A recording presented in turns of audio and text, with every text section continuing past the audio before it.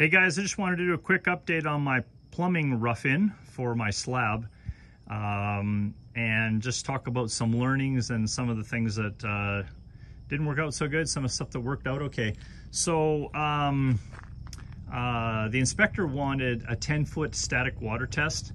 So I jury rigged uh, a system here with a one inch pipe and a bit of a funnel at the top there. Um, you know, it uh, it worked out pretty good. The only only problem I had is that these joints uh, leaked a little bit right here. And um, I just taped together some PVC, which was, it's adequate. It, it holds the, the liquid level, but it's not ideal. Um, the better thing to have done, in my mind, would have just been to run a hose from a tank in the back of my truck. Uh, it's the same pressure whether you have a large uh, piece of pipe or a small hose or whatever. It's really the elevation that counts.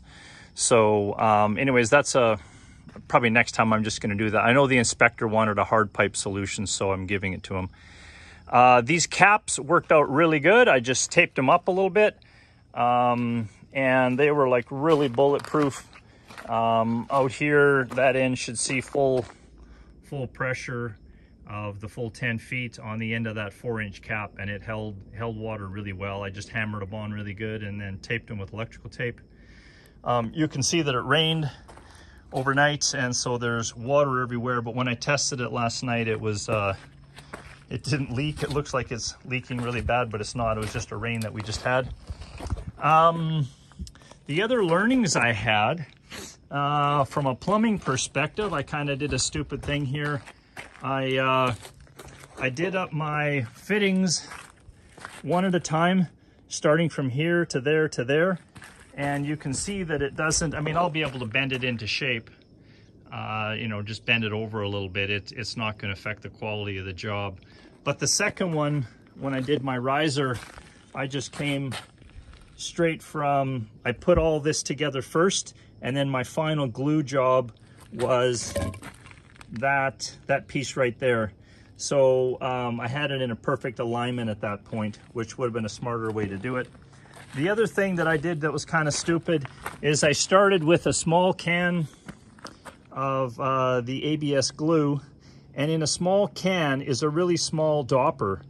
It's like, uh, you know, almost as big as your thumb kind of thing. And it's really hard to get enough glue. Probably even the can says to, you know, only use this up to two inch or something like that.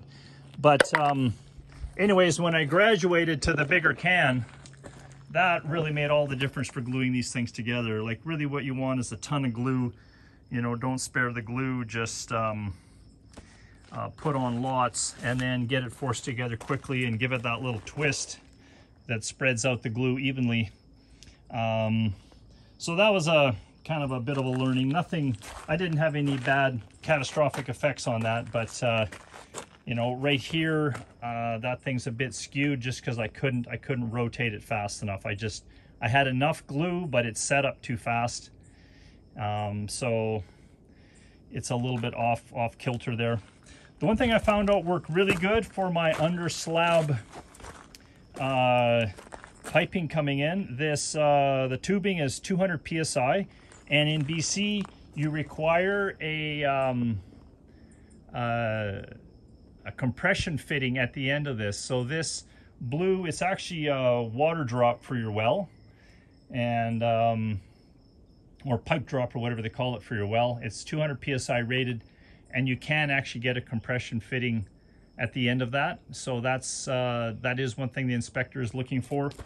But under the slab, they're also looking for a, uh, not the slab, but under the footing, they're also looking for a sleeve. And uh, my sleeve was just enough length to get underneath there, just an old piece of two inch that I had. And um, it actually worked out super slick. I used my, um, I had a satellite based uh, survey system. And so I pre-marked it in advance and of course, if you see just along the edge here, you can't really see any notification of anything happening. But I quickly marked that out this morning, right down to the, you know, half inch, quarter inch, exactly where that thing was. Quickly dug it out on both sides and then fished it through. So that was uh, really handy. Um,